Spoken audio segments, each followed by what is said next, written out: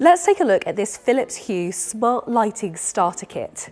It gives you full control of your lights even when you're not at home.